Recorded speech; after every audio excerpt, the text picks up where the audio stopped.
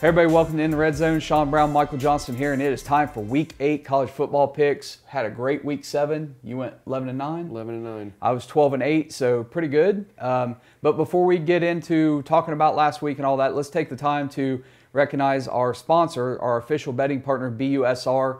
Please go check out busr.com slash redzone. When you make a deposit, you can get some free play. The promo is always kind of changing, so go sign up and see what you can get now. And uh, hey, week seven. Yeah. What'd you think? Um, it was okay. So here's the deal. I'm moving. My wife and I are closing on a house uh, tomorrow. All this YouTube money, just uh, just kidding. Yeah. yeah. Um, no, uh, but we're moving, and I didn't get to watch a lot. I watched uh, I watched some of the uh, Texas Oklahoma State game. Texas just they're they're becoming known for just blowing leads in the second Yeah. half. Um, 41 and 7 41 to 7 they've been outscored in the fourth quarter yeah, last the second half just doesn't doesn't Yeah. come with them. So, Right. um, but good. I mean, I started seeing already people wanting to run Sarkisian out after half a season. You, that's got to stop. Watching That game though, stop. there were some drives that I just kind of scratched my head at, and I don't know if it's Casey Thompson just not reading what Mm-hmm. he's supposed to read with the defense. Um, but man, they just uh, maybe just let him get some of his players in there, give him a couple recruiting cycles. Um, But let's not take away from Oklahoma State because Yeah. they have a great Oh, defense totally. and they played really good. Totally. They played lights out. They played better than Texas. But I mean, they also, you know, Spencer San- Sanders is still inconsistent. Mm-hmm. Um, there's there's even some Pokes fans that are calling for Shane Illingworth, you know, to to be the the quarterback. So he came through there late in the game though with that um, Yeah. touchdown run. I mean, you can't bench a kid like that who's Yeah. you know who gets and you a they've got win a like that. they've got a really good running back.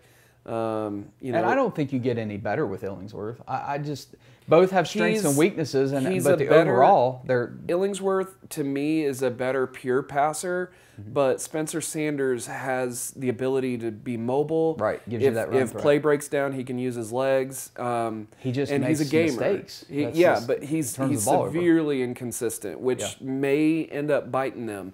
Um, we'll see if both teams can be. Both Oklahoma teams can be uh, in undefeated. I don't know when the last time that happened when they met each other. I don't know. They still have a long road to go though Right, before we get right, to that. But yeah. yeah. that's the hope anyway. Yeah. If you're if you live in Oklahoma. Yeah. Uh, Kentucky and Georgia. Georgia just kind of dominated that game. I mean, it was. Uh, you know, for the picks wise, we both had Kentucky. Yeah, And then covered. Georgia scores, but then they miss the extra point, and that makes it a push. Mm-hmm. Yeah. And luckily, I mean, I'm rooting for Kentucky. I'm like, go blue, go blue, because they score on the very last play of the game, Yeah. and that covered. And so that's what we, you know, that's what I cared about most. Yeah. Um, so, and I, I know Georgia didn't want to give up that touchdown, but Yeah. you know, but you know, and I say that. I thought coming in here today, like this is the game we were probably going to talk about the most because it was the best, really the best game of the weekend. And then Tennessee Ole Miss happens. Yeah. And that was chaotic and Yeah. crazy. Yeah, I caught. Um, I wasn't able to. I don't have SEC network. Um, I know. I know. I I have a, college football channel, and I don't have SEC network. But um, no, I caught some of the Memphis Navy game, and Navy uh, had like an eight-minute drive, and you know, it, if they could just get some better players, you Yeah. know, they're just never really going to be that great. But but watching Memphis. Um, I have no clue why they're not being offered to to be in one of these Power Five conferences. They've got the stadium for it. Yeah. Um, they've got the market. I mean, Memphis is a decent market. Yeah, it's all right. I think when you really compare Memphis to the other markets that are available, though, Yeah. and then the Memphis market is so really kind of close to the Nashville market, Yeah. and so it's just it's a kind of an unfortunate thing for them. I think. I just thought So- certainly the Big Twelve would would pull them in because Memphis.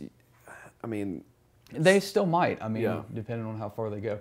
Briefly, I want to talk about just briefly. I know you didn't get to see it. I watched was heavily watching the Tennessee game, and uh, forget the game. I mean, if you watched, if you're a Vols fan, you're an Ole Miss, you watch the game. But I'm going to say this though, this this stuff with faking injuries has to stop. Yeah. The NCAA has got to crack down on this, and to me. I know you disagree with me on this, but I think it needs to be like a heavy, heavy penalty, a 15 yard penalty, players out for the whole quarter, maybe the whole half, and I think the coaches start needing to get fined. And, and, and I'm talking about some of these you can't tell, but when you got a guy standing on the defensive line with his hands on his hip and a coach over there doing this, and the guy drops down, that should be a penalty and he should be ejected. I mean, I'm sorry, it's just I- wrong. And both teams did it. Yeah. Both teams did it, and both coaches should be fined for it. But it's got to stop, and the NCAA's got to take get hold of this. I don't disagree with maybe a fine because it's the same. It's basically the same thing as a flop in the NBA, and they're cracking down on that, or they, they say they are. Yeah. Um, I don't think. I personally, I think a quarter, the rest of the quarter is a bit much, but the end of a drive or uh, till Rest the end of the the, drive, the the series, you know, I, I have no problem with that. Same thing on a targeting. I Well, think there maybe should be tiers miss the next series because if you're doing it on third down here- and you're only missing one play, that's not enough. Here's the thing: if there's no if there's no fine when it comes to things like targeting, which obviously to to the NCAA is the worst penalty because Right. they they're kicking guys out Well, of the game. you're not going to find players because they're right, but but the coaches, the, program, and right? the coaches but, would but get this that whole, right. If, this whole flopping thing, faking injury, this is on coaches. Yeah. This is on the coaches. These are on the coaches who are making millions mean- of dollars. So you can find them, and I think they should. just uh, they've found a way to. It's gamesmanship, and it's them just trying to play within in the rules. And um, yeah, I don't like it, but at the end of the day, it's it's the rule is there, you know, and the player does have to come off. So they changed it within the you know the last decade, I think. Well, um, they that- did change it to where that player has to come off for safety reasons. If he Right. really is hurt, he needs to get looked at. But yeah, extend that. You know, if enough people get mad about it, then I- um, extend that to the to the rest of the series. That and and I think as far as targeting, not to get too far into that, but I think there should be a tiered system with the targeting. Um, to where maybe even the tier one, you know, being the the least uh, or the lesser. Uh, I, I punishment. targeting. One thing I don't like about targeting is the defenseless player or the head and neck area. Yeah. Because to me, targeting is lowering your head and hit with the crown of your helmet. And it's the one thing you should not ever do. Yeah. And but it's like some of these defenders are getting hit with. Well, he's a defenseless receiver. What do you expect him to do? Just let him catch it and run for 20 more yards? I mean, you got to make a hit. It's a lot of these are bang bang plays, Right. and there have been some players that have been kicked out Yes. of, of second halves and then the, the first half of the next game for really just egregious calls, and and so that's why I think a tiered system with you know sure kick him out the rest of the series or something. I think next but series, allow too. allow I him to come back. That's not you know there's some guys that aren't looking to hurt somebody. They just it's you know a quarterback drops down quickly or Yeah. you know, and can't really help that Right. you get helmet to helmet in that situation. Well, you get a So- guy, you get a defender who's full tilt, chest up over their feet, running full tilt. Yeah. And then they're going out to make a tackle on the quarterback, and at the last second, the quarterback slides, and he's already committed, and then he hits the helmet of the Yeah. quarterback. But that should not be targeting because he, you can't stop on a dime. Yeah. These athletes are moving at huge, like fast speeds, and they can't just stop, especially when your chest and head is over top your feet and you're driving forward. You can't stop that. and the ball carrier can hit the defender just just Right. about any way he wants. Just about every running back lowers his head, but they never get called for targeting. For Yeah. that, and they should, in my Yeah. opinion. I mean- so I, I don't know. It goes both ways, but um, I'd like to see him crack down on the injury thing. yeah. but So uh, we've got Clemson struggling with Syracuse. Yeah. Um, Oklahoma, obviously, we'll get into that a little bit, but Caleb Williams coming in for his first start looked really, really good. Yeah. Um, I mean, as good as a true freshman could go out and probably play. Um, just whipped up on TCU, which um. I, w- I kind of expected it to him to play both quarterbacks, and he didn't, and that really surprised me. yeah, I mean, hats So- off to, to Lincoln Riley because that's not an easy call to make. I mean, Well, when you've and- got an established quarterback like that, And OU's defense wasn't playing well, and TCU was scoring. And, Yeah. and I think that TCU was keeping it close enough that you you put Rattler in one or two drives here, and he d- it doesn't produce like Williams has. You got a tie game. Like I don't think it was a point where you ever, you could play. Two yeah, there never really was because TCU seemed to kind of always until middle of the fourth quarter. It seemed like they were well within distance. You know, um, striking distance, and then Oklahoma just kind of pulls away. Yep. They're late in the game, but um, Last yeah, I'm last excited. last big one um, we'll talk about real quick. Well, two real quick. One LSU absolutely flat out dominates Florida. Well, they didn't dominate. They won 40, 49 to 49, 42, 42. but their running back ran for like 287 yards, broke Yeah. a school record. Um, I don't. Florida got problems. Yeah. Like serious problems. Other than that, Yeah. Purdue beats Iowa. Yeah. Number two goes down. That's huge. We got to talk about that real quick. I Yeah, mean, yeah. I mean, uh, of course, Cincinnati bumps up to number two in the Yep. country, and and you a know, lot of people who are detractors, Cincinnati wouldn't beat Alabama.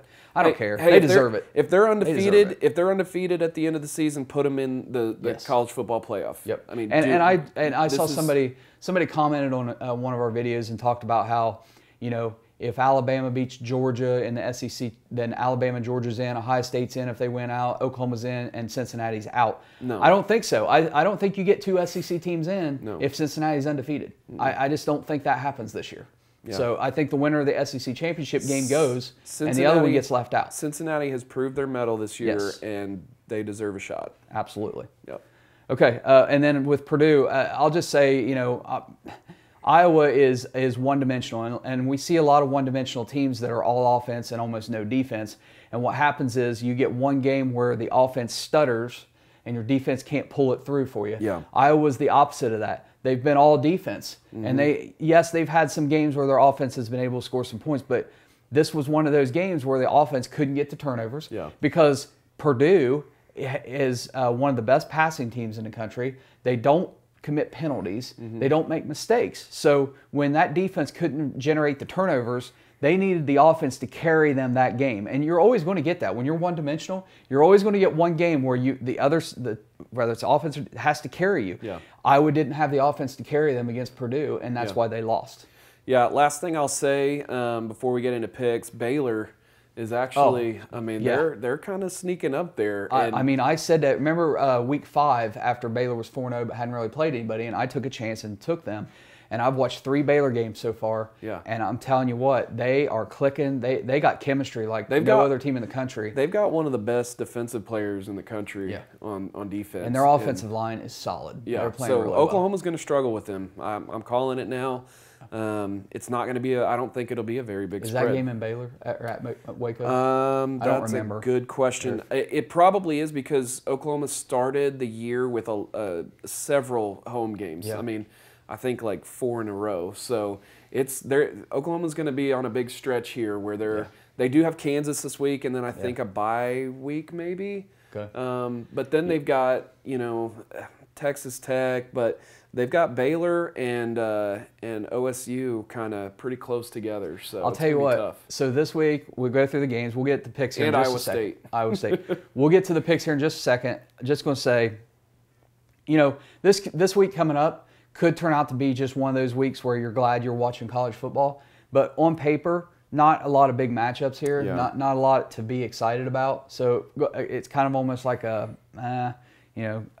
Personally, I'm going to watch maybe two or three games this week. I'm not going to sit and watch a whole bunch of games. Yeah. It's just a week I can take off, maybe get Christmas lights up early, something like that. Mm-hmm. But the following week, week nine, huge, especially in the Big Ten, because that week we get Penn State, Ohio State, and Michigan, Michigan State. Nice. The same week, and that's going to be huge. Yeah. So we kind of get a little bit of a break here, maybe. I mean, we could always have upsets, but Yeah. yeah. And before we get into picks, make sure to like the video.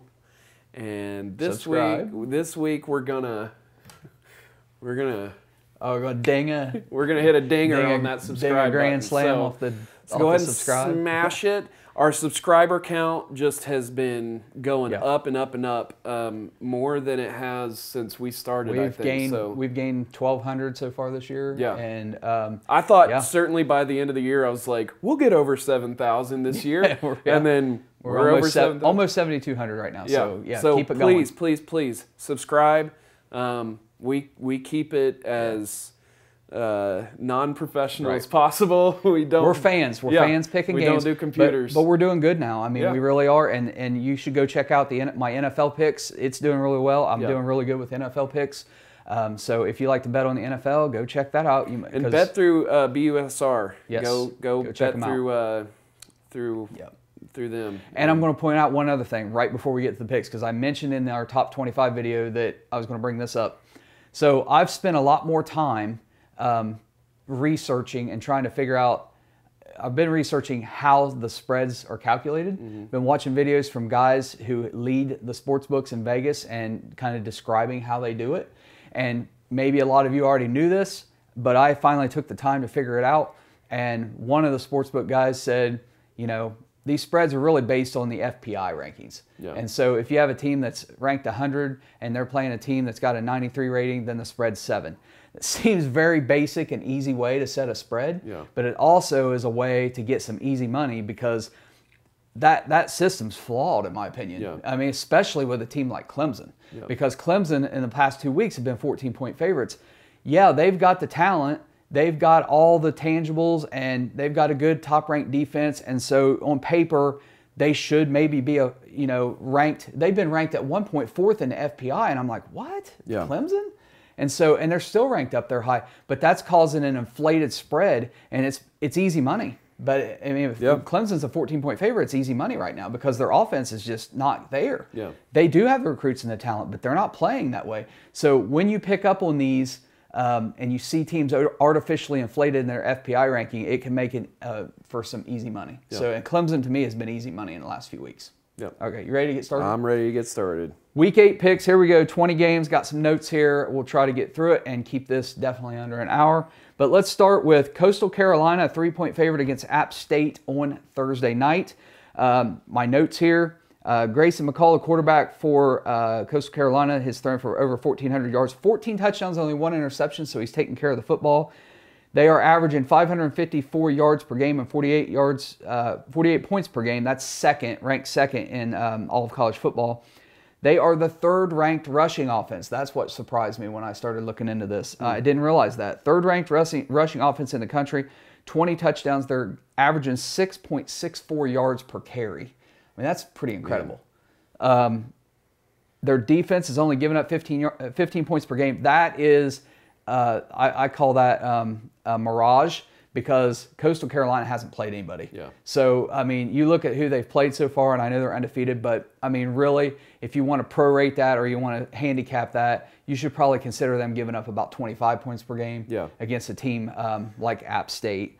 Um, and then you have, um, like I said, Coastal Carolina's beaten Buffalo, UMass, Can- Kansas, Louisiana Monroe, and Ark- Arkansas State.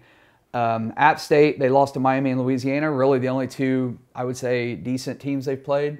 And then they've beaten Marshall, Georgia State, and Elon. Marshall, you know, usually is pretty up there. But um, And then App State averaging 31 points per game, 436 yards per game. So App State absolutely got destroyed by Louisiana last week, Yeah. um, 41-13 or something like that. It was ugly, um, and they were the favorite. Uh, here, you know, because Coastal Carolina hasn't really played anybody, they are going to App State. App State plays really good at home, um, but Coastal Carolina is a three-point favorite. I just think the fact that they have the third-ranked rushing offense to go along with their passing, Yeah. I just don't think App State can keep up. So Yeah. this might be a shootout, but I I think they Coastal Carolina covers three. Yeah, so Grayson McCall, um, he hasn't thrown a ton of passes when com- uh, compared to some of the other kind of more prolific passers, but he's he's thrown over 109 passes.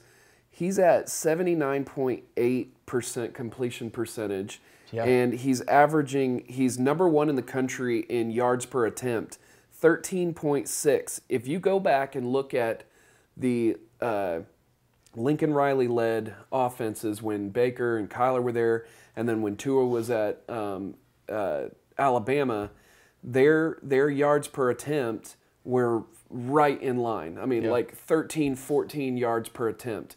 Um, Grayson McCall on adjusted yards per attempt is 15.7. That means any ball that was dropped, any ball that was catchable, um, they take that into consideration. Or anyone that's not catchable, they kind of take those out um, in the adjusted yards per attempt. So anyone that, that is catchable and, and is, is caught, basically. Um, he's got 14 touchdowns, one interception on the year, and has a rating of 234.3. Wow. Um, that's good for first in the country. Nobody even breaks 200. Um, so you got to consider he hasn't thrown as many passes. He's probably thrown uh, 50% of the passes on some of these other guys that just sling the ball. Because they have that rushing offense. They don't Um, right. need to, really. Right. So, and that's, you know, um, we'll look at uh, let's see. For, uh, Memphis's quarterback has thrown 227 passes. Kenny Pickett's thrown 205. Adrian Martinez 211. So there definitely are other quarterbacks who have thrown a ridiculous amount of passes this year. Grayson McCall just seems to kind of take his shots when needed. Um, and then they play the ground game, so they're very well balanced, and I, I'm I'm taking them this week. He's got half the attempts, but the almost the same amount of yardage. Yeah. So that's incredible. That's what's incredible about that. yeah, For, over 1,400 yards on only yeah. I don't attempts. have. Well, actually, 108 attempts, I believe. well, okay. So 87 of 109 is what he is. So Matt Corral's sitting at number 20 in the country at 1,728 yards. So, Okay.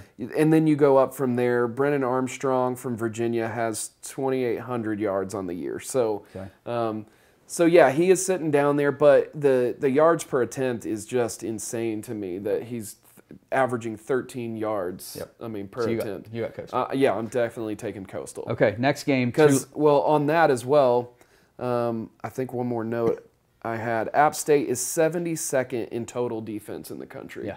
So they'll get lit up. Yep, absolutely. Okay, next game. Tulane is at SMU. SMU is a 14 point favorite.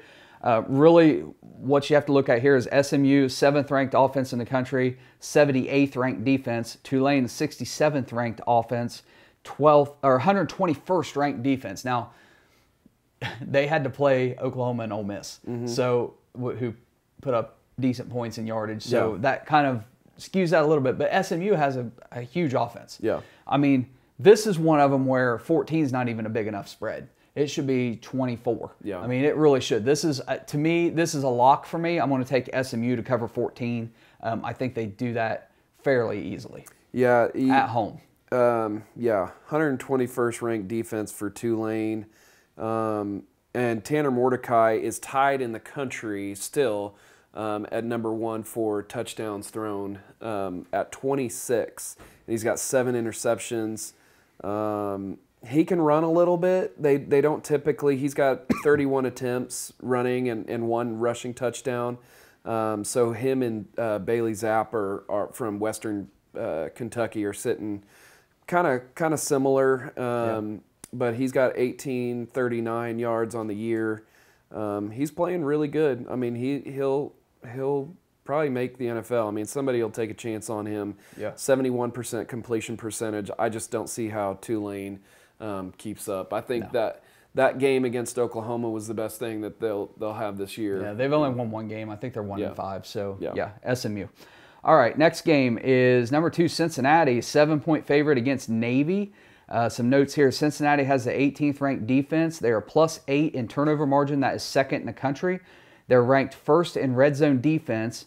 Only given up nine scores on 16 attempts. They've given up six rushing touchdowns and three passing touchdowns uh, when the other team gets in the red zone. They are ranked first in pass efficiency defense. Um, the only thing with this, though, uh, and I'm taking Cincinnati cover seven, but the way Navy plays, they Mm-hmm. might be able to hang on. They might win the time of possession and limit Cincinnati's number of attempts on offense. Yeah. Because I think what you could see with Navy possibly is that they, you know, they're going to have to start on their own 15 or 20, and they might be able to drive the ball down the field. Yeah. I just don't think they're going to be able to get in the end zone. But they're going to take a lot of time off the clock. Yeah. And it's going to limit Desmond Ridder and Cincinnati their number of attempts. And for Cincinnati at this point the season, I mean, you know, they're the team that has to win with style points. They got to go out and win this game 42 to 7. Yeah. They really do. We said it last week, and Yeah. they, they did it. And they did, Yeah. yes. So Navy, I'll, I'll just tell you, um, you know, ever since getting blown out by Air Force, um, they kept it within eight against Houston. Uh, they kept it. They won. Uh, they beat UCF. That's their only win of the season. Um, they kept it within seven with SMU, who's got a really high-powered Right. offense. Um, and then you know they scored half as many points as Memphis did at Memphis. Um, but like you said, I mean this is at home. The last game they played at home was against SMU, who has SMU just doesn't have a defense at Cincinnati. right. So that's the big right. difference there. That yeah, but um, Navy just has the opportunity to hold on to the ball, like you Yes. said. Um, my thoughts are pretty much in line with you on this, but um, I just think that seven, I could see. I know years ago um, Oklahoma played Army, and I think they beat them by like seven because Army would just they just held on to the ball and, and just kept Now Navy does throw the ball. They're not. They don't run a little, option. a very but- little bit. Um, they average 50 yards passing per game, um, and then they they I think they're like 215 on the ground per game. But um, so very little do they throw the ball, but they will in in some, and I think they throw it um, a little bit more than Army does. But um, yeah, I just I see Cincinnati just just you know. It's going to be a tough game for them because that, that option is never easy to defend. To me, um, I, I'll take this as another lock. I mean, along with the SMU game, I just think Cincinnati knows what they've got to do. They got to win big, and they Yeah. will win big. Okay, uh, next Well, hold- game. What? You had it at minus seven. It's minus seven. That's you sure you didn't miss a two? Is it minus twenty-seven? Yep. Oh, okay. minus twenty-seven. I'm still taking Cincinnati. Yeah. Um, man, that's a Big, but I'm going to take that's Cincinnati. big. I'm gonna take Navy in that just because, um, you know, just just how I know Cincinnati's probably better than SMU at this point. We'll see in a few weeks, but um, 27 does make a big difference, and just being able to hold on to the ball. Um, you know, Cincinnati. Um, first in pass efficiency defense, but that doesn't really help him in this. Yeah. Um, what's do you know what their rushing defense No, I tried to look at it. and They didn't have that as part of the stats thing. Like they didn't have a rushing def- defense rankings. Okay. Um, I looked for that because that was what I was cu- curious about. yeah, and I'd like to see where they're at against the spread. Um, either team. I mean, I think Cincinnati is kind of up there. Yeah, they're five and one against the spread. Um, I'll stick with Navy. I mean, twenty-seven against a uh, against an option team is just it's pretty tough. It's Okay. it's tough to do. Okay, next one Oklahoma, 38 point favorite at Kansas.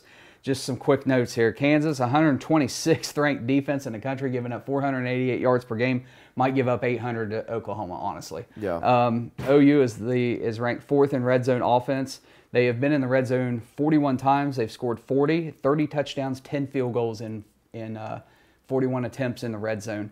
Oklahoma all day, Yeah. way over 38. I mean, this one, another one that I think is easy. Yeah. Um, Caleb Williams just makes them a completely different team than Spencer Rattler did. Um, and and you just hear of stories of Caleb Williams walking down the, the sideline to every single position group um, and, and just saying, you know, come on, guys, we're going to win this game. Uh, at, at halftime, the offensive line was meeting in one of the end zones, and in the middle of that huddle was Caleb Williams. That's a true freshman Yeah. that just, I mean, he's got winning on the mind. He's got his teammates on the mind. Um, and the team seems to play better when he's out there on the field. So um, I just, I, I, man, I feel, I feel bad for Spencer Rattler. I mean, he's come in here and, and yeah, he's made some mistakes, but Well, he's um, going to get a play in this he, game. he has, yeah, he will. That's Yeah. true. Um, like we said earlier in the in the show, you know, Oklahoma didn't really pull away till later on, and you kind of thought TCU could maybe score here and Yeah. make it a game, but um, but they didn't. Yep. Um, but I would say the only thing that concerns me about this game, and I'm not I'm not changing my pick. I'm taking Oklahoma. But the only thing that concerns me about this is this is a game where I could see Lincoln Riley like basically alternating every other series because they Maybe pretty much are going to dominate this game. Yeah. And so if you play and I'm not as confident that Rattler's Rattler's going to move him down the field every possession and score the way Williams does. So Yeah. that could end up keeping it where they win by 35. I Yeah. mean, that is possible. I will stick thing. with OU though. Here's the thing: mid-season, Kennedy Brooks has come alive. Marvin Mims has come alive. Um, there's been some other players. Mike, Mike, uh, oh crap, uh, Mike Woods from Arkansas. He's kind of come alive here, and and then Jadon Haselwood having three touchdowns. Um, not as many yards as you'd like um, Haselwood to have with a three touchdown game, but he's a red zone threat. I mean, he's a taller wide receiver. I'd like to see this game Austin Stogner get the ball a little bit more. Mm-hmm. Um, and and Eric Gray got his first rushing touchdown as a Sooner. Unbelievable. It's the first one. I know. You got OU? I've got OU. Okay, yeah, let's yeah. move on I to- think they. I think they definitely take care of business because right. I think they have. I think they have their bye week after Kansas. I could be wrong. Okay, let's move on to Northwestern against Michigan. Michigan is a 21 point favorite. Michigan has the seventh ranked rushing offense in the country, 21 touchdowns, 5.4 yards per carry. Sorry, they have Texas Tech next, and then Oh, okay. their bye week. Okay. Yep. Uh, so Michigan seventh ranked offense, rushing offense. Northwestern just not good this year. Yeah. Um, just really not good. And you know, Michigan fans have been kind of mad at me because of where I have them ranked in the top 25. But the reality is, go out and destroy Northwestern, and you know, prove it once again. Your time's coming because the following week you get Michigan State. So. Um, you know, you beat Michigan State, you beat Penn State, you beat Ohio State. You're up there. I mean, Yeah. you really are. You're in the top top four. So, hey, Michigan, I got you covering 21. Don't let me down. I do too. Um, they've got a bye week after this. Um, I know that for sure now. Yeah. um, Northwestern did go out and get the win against uh, Rutgers, but they got housed by Nebraska um, two weeks before. So I've definitely got Michigan. I think that uh, I think they're on a pretty good roll, and um, hopefully this isn't a trap for them. Yep. Okay, next one. Illinois is at Penn State. Penn State, 23 and a half point favorite. Illinois is plus eight in turnover margin. They're ninth in the country. They have eight fumble recoveries, five interceptions. Penn State second in red zone defense. Um, the opponent has been in the red zone 19 times. They've only given up 11 scores, four rushing touchdowns, two passing touchdowns, and the rest were field goals. Um, so Penn State's defense getting it done. Uh, bend but don't break kind of uh, philosophy there. Yeah. Illinois, I, you think Illinois is going to struggle to score here. Um, but for some reason, they just, I don't know why, but my gut is they scare me in this one. Penn State wins the game, obviously, but I, I don't know if they cover 23 and a half. I'm going to reluctantly take Penn State to cover here. Penn State is three and one against the spread at home, and let's see where Illinois is as far as the away team. Uh, they are one and one, so only two away games so far for them. Um, I'm taking Penn State. Okay. I just think they're that much better than Illinois. Um, Okay. yeah, not much to say about that. Okay, next game. Wake Forest is a three point favorite against Army. Army is the second ranked rushing offense uh, in the country, having scored 21 touchdowns, 4.7 yards per carry. Um, that's really the biggest stat here. Of course, Wake still undefeated. Uh, yes, because they beat Syracuse. Um, they got a showdown coming up with Pitt. Unfortunately, though, I think Army wins this game. Yeah. I, I just it, it just feels like because of that, Wake is not. Uh, I mean, they're not great on defense. Yeah. Army's rushing at- attack, that option, it's just impossible to stop. Yeah. And Army's been able to hang close with just about everybody. I think Wake Forest falls this week. I would take Army on the money line, Yeah. so I'll take them in the points. Yeah, you're not kidding about the um, their Wake Forest defense. They're 90th in the country in rush defense, 91st in total defense. So give me Army all day in that. Army's got the fifth ranked total defense in the country. Mm-hmm. Um, And Army is the least penalized team in college football. Yeah. They, they have almost no penalties. They're so disciplined. Yeah. And so that makes a difference as well. So I've got Army. Okay. Yep. Kansas State is at Texas Tech. Texas Tech is a one point favorite. A couple notes here. Kansas State lost has lost three straight, but they've been to Iowa State, Oklahoma, and Oklahoma State. Texas Tech has beat West Virginia 23 to 20, but they lost to TCU 52 to 31, and they lost to Texas 70 to 35. So uh, Tech has beaten the teams they should beat, but they haven't they haven't been playing well against top rated teams. Yeah. Kansas State has lost against their best teams they've played, but they've hung in there. Yeah. Um, the the question for me, honestly, we have to make a pick. I'm going to make a pick, but I would never bet on this game because the question is going to be, you know, Texas Tech is going to score. Can Kansas State keep up? yeah. Um, at one, it's a pick 'em. I know we have some Texas Tech fans. I'm sorry, I hate to disappoint you, but I'm taking Kansas State in this. But I would not bet this game. It's just there's too many un, too unpredictable. It's really hard to gauge this matchup. Um, so I'll, I'll you know lay off of it if you can. Yeah, I'm going to look real quick at rush defense because Deuce Vaughn, um, I mean, he's a firecracker, and if they if they struggle um, with the rush, Mm-hmm. that's going to be yeah, they're 92nd in rush defense, and that's I'm pulling that from team rankings. I know. Mm-hmm. You go to NCAA.com and look at their stats; they're going to be different than Yeah. you know, sports reference or team rankings. They, they're all different. But team rankings I like. They have the against the spread records and stuff. But I'm gonna st- I'm gonna go with the home team in this one.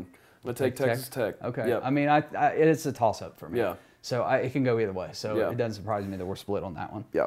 Okay. Uh, next game, Oklahoma State is at Iowa State. Iowa State is a six. Well, before so between the two quarterbacks, um, Henry Colombi and Skylar Thompson, they have nine touchdowns and six interceptions between both of them. that's on the year. Yeah, Yeah. That's terrible. So it it may be a very boring game. Okay. All right. Now let's move on to Oklahoma State at Iowa State. Iowa State is a six and a half point favorite. Iowa State, the third ranked defense in the country, only giving up 252 yards per game. 10 defensive, uh, they've given up 10 offensive touchdowns on the season. They are the uh, sixth fewest penalized team, 27 penalties for 202 yards, so they are pretty good in that area. For Oklahoma State, they're the ti 19th ranked defense. Really, I thought they'd be ranked higher the way they've been playing. Yeah. But they are the 19th ranked defense, giving up 300 yards per game, 11 offensive touchdowns on the year.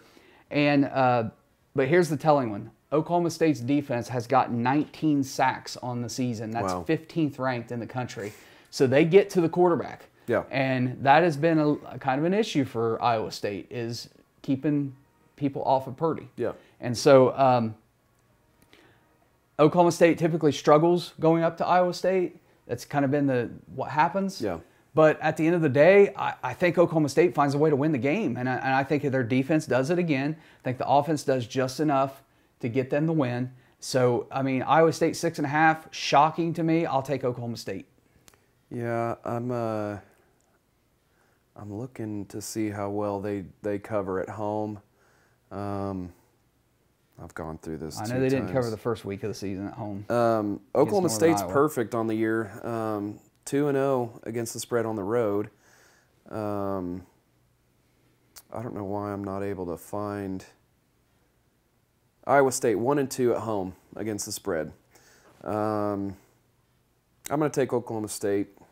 Okay. I've got them originally. Um, I think they're on a roll, and I would love, I would love for both Oklahoma teams to be undefeated going into that. That would be good. Um, one of the things that's interesting is that uh, ESPN's matchup predictor has Iowa State at an, a 78.2% chance of winning this game. yeah. See, this is It's, one. that's not always right. No, and that and that is Rarely is it right. and that's based on ESPN's FPI, Right. And and I, I think it's flawed. Like Yeah. I just don't agree with it. Yeah. I mean, I just don't. So I think this is one of those where it just seemed obvious. I thought Oklahoma State would be the favorite. Yeah. And so uh, I got to take them. They're the dogs. I got to take them. Yep. Okay, next game. Oregon is at UCLA. UCLA is a one and a half point favorite. Oregon lost running back CJ Verdell for the season. That really changes them. Uh, it really hurts them on offense. UCLA, uh, Dorian Thompson Robinson has thrown for 13 touchdowns, only two interceptions on the year. Nice. Oregon, their defense, we came into the season thinking they were going to be one of these best top Yeah. ranked defenses. They're ranked 91st in the country. They're giving up 410 yards per game, 5.3 yards per play. Awful. I mean, UCLA, give me them all day long. And I think one and a half is, I mean, I'd take that clear to six. I mean, I think UCLA just goes out and kind of whips Oregon. Yeah, UCLA is is 50% on the year against the spread at home. Um, check Oregon's here. Oregon on the road. Um, they're down there. They're one and one. Um, so both teams 50% as far as the situation against the spread. But I've got UCLA. I think um, they got a pretty, uh, I'll say pretty good game. Um, they did get a, a win against Washington, which Washington won, has won one game this year. They're not that great, but um, you know UCLA is a little bit better this year with Chip Kelly um, than they have in the past. So I've got UCLA. If this game was out of Oregon, I'd get Oregon the, an advantage here. But Yeah. going down to UCLA, I mean, and losing CJ Verdell, they might have a running back who can step in, but Yeah. that's a big loss. Which LA and their college teams, I mean, they don't really get a whole a, a lot of uh, love, you Right. know, from their city. They, Right. but um, I've got UCLA. Okay. Uh, LSU is at Ole Miss. Ole Miss is a 10 and a half point favorite. Ole Miss has the 106th ranked defense in the country. They're terrible on defense. Uh, LSU has the top top ranked red zone offense in the country, 19 for 19 Wow. in red zone attempts. Now, I mean, they've made 19 red zone attempts compared to like Oklahoma making 40 red zone attempts. Yeah. So they don't get in the red zone a lot, but when they get down there, they score. Yeah. Um, the question is, can they slow down Ole Miss? Um, and what I really believe is, like, I like Tennessee. That game was a close game. LSU on defense has a better defensive front than Tennessee. I think they're really going to get to Matt Corral. I really do. And I think LSU is going to cause him a lot of problems. Um, Ole Miss can't just keep surviving week in, week out like they have been. Yeah. You know, against Arkansas, against Tennessee. That, that's not going to happen. I mean, they, they are going to drop a game here, and I think it's LSU. I'm going to take LSU, especially with 10 and a half points. Yeah, um, LSU has had a tough time covering on the road. And I think those year- players want to play for Coach O, who is is yeah, now, this is his last season It's now. his last season. They're going to Um, buy him out, so they're going to want to win. And and you know, per, from a personal perspective, I hope LSU wins out, and then I hope they go the route of Nebraska and Texas for the next two decades. Yeah. Because it's ridiculous that they're running him out of town after two years removed from winning a national championship. That's my opinion, but Yeah, hey, Ole Miss is one one and one against uh, against the spread at home. yeah, Um, but man, they, they sure can score some points um, once they get on a roll. Ooh, man, I'm gonna stick with Ole Miss. I just I, I know, yeah. Normally, when I put the the mental side of it into it, I end up getting it wrong. You know, with them wanting to play for for Orgeron, but maybe he's the problem. I mean, you know, it- it took Joe Brady and and or the Joes, you know, Joe, Joe Burrow and Joe Brady to to really get them, and then three five star wide receivers um, to get them a national championship. he brought him in, he hired him. You got to give him credit. I know, for that, I know he did. Sure, sure. But then the two years after, you don't Yeah. you don't really follow that up with anything. Um, so that's probably what they're wanting. They want to be like an Alabama that can constantly Year in, year reload and and and you know at least be in it. At least uh, you know there are some teams that once a decade they'll they'll push for um, for competing for uh, they'll be a challenger, but the LSU's just not it. They're you know not, they're no. they I don't know. You'd you'd think you could follow that performance up with with something Mm-hmm. not close to because that's one of the best offensive we'll ever see in the country Yeah. um, in history. So um, I'm gonna I'm gonna stick with Ole Miss. Okay. It's just my gut pick. Next one, Clemson is at number 10, Pitt. Uh, Pitt is a three and a half point favorite. Clemson is the 24th ranked defense in the country, giving up only giving up seven offensive touchdowns in the country. That is second to only Georgia. Georgia's given up four offensive touchdowns. Um, so Clemson's defense is still really good, um, despite the fact that they're not ranked and things like that. Pitt, 28th ranked defense, uh, giving up 319 yards per game, 16 touchdowns. Um, but Pitt has Pitt's defense 21 sacks on the year. That's eighth. So they get to the quarterback, and so I don't expect this to be a high scoring game. Yeah. What I do expect though is Pitt putting up maybe 17. Yeah. And because Pitt's defense has been so good against the pass and been able to get to the quarterback and get a lot of sacks, I I don't know if Cle- I don't know how Clemson scores. I don't know Yeah. how they get past six. I mean, I just don't. And I don't know. So, I don't know if um, you know. Besides Georgia, Kenny Pickett is just another Right. kind of talent. Yep. So um, he's playing lights out this year. Uh, this his- decides the ACC, in my opinion. Yeah. I mean, Pitt is the best team in the ACC, in my opinion. Yeah. Uh, and right now it's Pitt and Wake Forest, and then you have you know Clemson. There's with two losses, but they're not. They haven't lost in conference. So, or did they? I don't remember. No. Pitt. Pitt lost to Georgia, and or no, Clemson lost to Georgia, and and who was their second loss to? I forget. Um, hang on. I'm fixing a habit I NC. State. NC State. So they did lose in in the second in- two overtime okay. game. All right. Well, anyway, And Pitt lost to Western Michigan. I mean, whatever. I just think this is this. they've they've been better since this then. is Pitt's year. Yeah. It's Pitt's year to win the ACC. Um, you know, I, I do think this is a close game, but I think three and a half is manageable for Pitt. So I like I like Pitt. Yeah, um, Clemson just still hasn't figured out their offensive woes, and you know, color me shocked that Uiagalelei is just not what I thought he would be. Last year, Right. I was sitting there saying that kid's going to win a Heisman, um, and I I don't think that Nope. anymore. Nope. Yeah. I don't. I think that they they need to go out and recruit a quarterback. You won't get another Trevor Lawrence, but get somebody similar Yeah. and just start a true freshman next year because that's that's the route you're going to have to go. Which Brent Venables saw this at Oklahoma. I mean, uh, you know, Oklahoma started off really, really good, and then started to kind of slide a little bit. Yeah. Um, and then he, of course, took off when Mike Stoops got to Oklahoma. He didn't want to play second fiddle. Right. And un- and understandable. he shouldn't. He's the yeah. best defensive coordinator in football. Yeah. So understandable. okay, so you got I got Pitt. You got Pitt. Okay. BYU is a one point favorite at Washington State. Um, BYU two losses in a row. Uh, can they can they bounce back? Because losing can be contagious. Yeah. Uh, and you wonder about that. They have to go on the road after this loss to Baylor, and they have to play Washington State. Fortunately for Bay or BYU, is Washington State's just not very good. Yeah. Um, so I got BC or BYU bouncing back. It's only one. It's a pick 'em. I'll, I'll give. I'll take BYU to bounce back after two losses and win a game.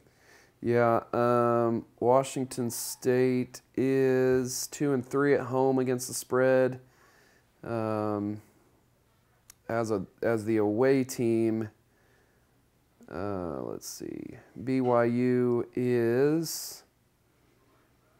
Do, do, do, do, they are one and one on the road against the Okay. spread. Um, so their third, uh, their third away game, but I've got BYU. Um, it's one point. I think they win. You know, of course, by more than that. Okay. Tennessee is at Alabama. Alabama, a 27 and a half point favorite, and I'm taking Alabama. I I didn't really, I don't care about a lot of stats. That here's what I know: Alabama is mad after the loss to Texas A&M. They took it out on Mississippi State. Tennessee, I I would have thought could go in there and be competitive and keep it within 27 and a half. But Hooker got hurt in that game. They carried him off. He couldn't walk. It looks like a knee injury. Yeah. So Joe Milton is your quarterback, and I'm telling you, I, I don't want to talk real negative about a player, but the decision making that he his decision making is awful. Yeah. I mean, he's got tons of arm strength, tons of talent, but I mean, on that fourth down, three seconds to or that that play with three seconds to go, and you got the ball in the twenty, and he runs out of bounds. Throw it to the end zone. What do you got to lose? Yeah. Even if it's intercepted, what give your team a chance, and he just runs out of bounds and. He doesn't have it upstairs. Yeah. He just doesn't, and I don't think Tennessee can hang with Alabama one bit with him at quarterback. So Yeah. I got Alabama covering easy. in I do one. too. I think I think this definitely is one that Tennessee has a bit of a hangover, you know, Yeah. from from an, an emotional. Yeah. I mean, their fans were just abs- That game was so weird. Yeah. Just towards the end, I, I wasn't able to watch, but I saw the videos, saw the Oh, pictures. terrible. Mike was texting me live live streaming Yeah. it to me basically. 30 minute delay to play the last 54 seconds of the game. Yeah. I mean, Yeah, and come on, Tennessee, come on. yeah, you got to be Like, better than that. I mean, seriously. You've got one of the best home crowds in the entire country, um, and thank goodness it wasn't you know nationally televised, Right. um, or at least you The know top- through one of the the CBS, the yeah, networks. Yeah. Yeah, right. So, man, you guys just got to do better than that. I know you want to be good so bad. Um, and it was probably frustrating seeing Ole Miss players go down that weren't really injured and slow the game up. Um, that's But, just but Tennessee was doing it too. they were, yeah, So- of course. Um, so, but anyway, I've got Alabama easily covering that. San Diego State, uh, we got them in the rankings this week at 22, is heading to Air Force, and Air Force is a four point favorite. Uh, hope you enjoyed your 15 minutes of fame San, San Diego State because I think Air Force comes out with the win. I think they cover the four. Air Force, especially playing at home, they're just a solid team. Yeah. and I got them. I got them winning the game. Yeah, San Diego State coming off of a a, a thriller, 19 to 13, s- two overtime game against uh, San Jose State. Right. um, at San Jose, and then they had a three overtime game against Utah. Thirty, they won thirty three to thirty one. Um, so I mean, they've tested their mentality this year.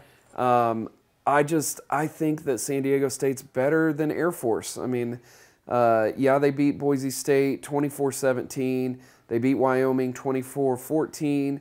They haven't really had much. Um, much competition the last few weeks. Now they do have to go to Colorado Springs. It's a thin Yeah, air. yeah, that's true. West Coast boys heading up to the mountains. I mean, just- it's, it's different. I think that San Diego State outright wins the game, so Okay. I've got them. Okay. Uh, Ohio State is a 19 point favorite against Indiana. Um, Ohio State's defense, 20 sacks on the season. That's 12th in the nation. Their uh, defense has scored five touchdowns. That's first in the country um, in scoring defense. Um, Indiana comes off, you know, they play close to Michigan State. They lose 20 to 15. They just aren't what, you know, they just aren't what everybody expected. They're not the same team as last year. Yeah. Um, Ohio State does sometimes struggle a little bit in the first half when they go to Indiana. Yeah. But they always come through in the second half, and I don't think it's any different. C.J. Stroud now a Heisman uh, contender. He's you know last few games he's scoring five touchdowns per game. I think they continue on their roll. Yeah. Um, and with that one loss to Oregon, they, I mean they've got to they've got to be somewhat impressive too. I mean Yeah. they they control their own destiny. They went out, they win the Big Ten championship game. They're going. I mean that's just the bottom line. They're so far high in the polls.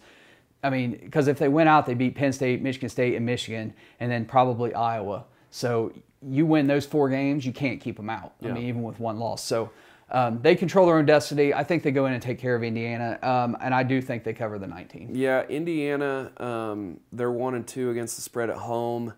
Um, that's really all I've got to add to it. I just I think that um, Ohio State has kind of fixed some of their issues that they had early in the season, um, and I see them covering that. Okay, USC is at Notre Dame. Notre Dame is a six and a half point favorite. Notre Dame coming off a bye week, um, and USC is just not. They're they're they're above average. They're not terrible, but Yeah. they're not a great team either. Uh, Notre Dame gets a week off to prepare. They're playing at home at Notre Dame. Mm-hmm. Um, they're definitely game. a touch touchdown better than USC. So at six and a half, give me Notre Dame. Yeah, um, Notre Dame. I'm looking for them as the home team against the spread. Um,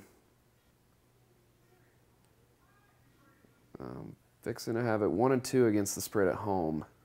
Um, and then UCL or sorry USC as the away team. Um, I got to start putting these next to the game. They're two. They're they're perfect on the year on the road uh, as the away team against the spread. So whatever you want to do with that, but I've got I've got Notre Dame. I think they win by at least a touchdown. Okay. Three more games. South Carolina is at Texas A&M. Texas A&M a 19 and a half point favorite. South Carolina struggled with Vanderbilt. I mean, they Yeah. struggled. And so I, I mean, Texas A&M after their two losses, they beat Alabama. They've got so much confidence that they want to just keep on rolling and I think they do. And I think I don't think 19 and a half is too much for Texas A&M. I think they cover that. Yeah, A and M had a uh, a big win against uh, Missouri this last week. Um, South Carolina just lost to Georgia, lost to Kentucky. They beat Troy 23 to 14. They lost to Tennessee 45 to 20, and they beat Vanderbilt by one point. So Texas A&M easy in this Yeah, one. absolutely. Two more games. NC State, three and a half point favorite at Miami. Um, NC State's got one loss on the year. Um, I believe that was to, to Mississippi State. Um, some old Mi- or some uh, NC State fans kind of upset with me online because they're saying that NC State doesn't get their get any respect. And they haven't really beat anybody. They've lost to Mississippi State, and their wins have been really they haven't beat anybody. Um, this past week, Miami comes They beat back. ninth ranked Clemson at the Okay, time. At the time, but now we know that's know, not. I know. That's I not as big of a win. kinda funny, yeah. right? I know. But um, so NC State's playing Miami. Miami has just been atrocious. Yeah. They came back with North Carolina, but that was. I mean, literally, I've never watched a game where I've seen a team try to purposely lose a game, and that's what I thought I was watching with North yeah, get Carolina. into that a little bit. I thought I was. me- Oh, I thought I was watching. I mean, seriously, that that was probably the closest thing I've ever seen to a college football team being like the 1919 Black Sox. I mean, it is. You get the fourth quarter, and I mean everything: coaching, playing, just not even trying to tackle. Uh, they stopped throwing the ball, just running it, and I mean they were trying to lose the game Didn't you say they got an interception? at the they- they end of the game, it was a it was a, a tip ball. One of the defensive linemen intercepts it to win the game 45-42 and some of the players were reacting like they lost the game Yeah. for North Carolina. I could not believe it. A lot of them were celebrating, but some of those guys were hanging their heads like I thought they were trying to throw the game. Yeah. I, I, I still feel that Now way. I, will mean, say, I will say, when Jalen Hurts was at Oklahoma and they played Baylor and they came back, um, that huge comeback win. Um, you know, over on the sideline, you know, Jalen Hurts can't even watch the the the uh, the field goal at the end of the game. I mean, he didn't even watch it, and then they win, and he's just got this like half smile on his face, just like I, I can't believe that. Well, I can't believe let- we played so bad. So me- that could have been a little part Let of it. me but- clarify. I'm yeah. not saying they purposely tried to lose the game. Yeah. But boy, that's what it looked like. Yeah. When you're watching. got it. Yeah, it was bad. It was so The bad. optics were I just mean, bad. Yeah, very bad. Yeah. So um, anyway, going back to this one, I got NC State covering three and a half. I do too. Miami's just they're terrible this year. Yeah. Um, they've lost their last two. Um, they did get a win against uh, against Central Connecticut, sixty nine and nothing. But that's you know that. Yeah. Come on. Uh, then they lost to Michigan State. They did beat App State 25-23. But NC State, um, they're on a four-game winning streak they are. and uh, they're just they're playing really good. They beat Boston College 33 to 7. They they beat Louisiana Tech 34-27. Of course, the game against Clemson, um, two overtime game 27-21. They beat Furman 45-7. So the teams that are, you know, obviously below them, they're doing what they're supposed to do. They got Wake coming up in two weeks. Wake Forest. Yeah, So that'll be a good win game. that game and you're Yeah. you're moving up. you? Um, and and then uh, Mississippi State they lost uh, 24 to 10. So um, I've got NC State easily in this. Okay. Uh, last game, Utah is a three and a half point favorite against Oregon State. Boy, I went back and forth with this one um, because I like Oregon State. I like their offensive line. I think I think they control the football. They run the ball really well. Yeah. Um, you know, but Utah with Cam Rising is a different team. Yeah. They are different. They are just like Oklahoma after Caleb Williams. I mean, it's just it's night and day difference. They were struggling at the beginning of the year with Charlie Brewer. Now they have Cam Rising, and he has just exploded. And um, but this is another game where I have to pick. So I'm going to take Utah. Yeah. I wouldn't put any money on this because I think it's a toss up. Yeah. I really do. I, I just I don't I don't know where to go with this one. I want to take Oregon State. I really do. Um, but I just think at this point right now, I think it's hard to bet against Utah. This, and the spreads this- don't matter because half of it was with Charlie Brewer, so it's a completely different. I know, I know, you and that's where it's kind of tough. But I'm going to go with Oregon State. They're perfect on the year, three and zero against the spread at home.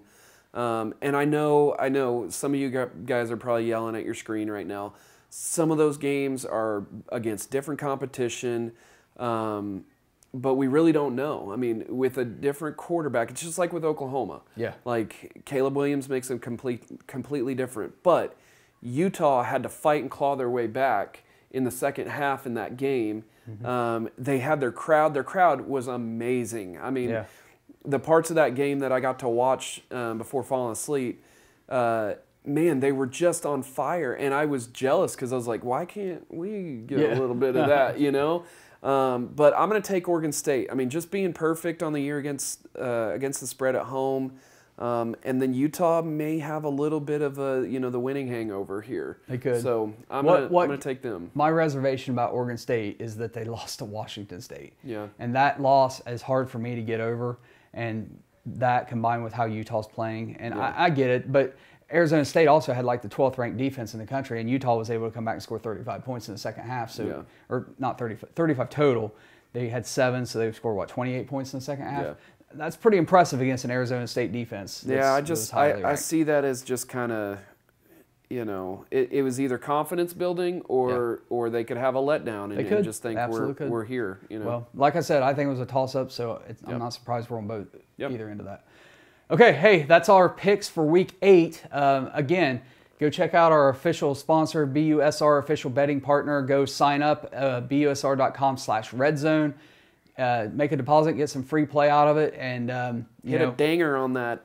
dinger on the subscribe uh, like the video, comment, and then always check us out on social media. Uh, they're all right here. You can see where to go uh, on Instagram, Twitter, things like that. I was tweeting during all the games this week. I never get on Twitter, but I finally did. I- Yeah. So go there. You can see what I'm saying during the games. That's all I got. You got anything else? Good. Okay, let's get through week eight and get on to that awesome week nine that, that's looming right around the corner. So Yeah. that's all we have. Uh, till next time, take care.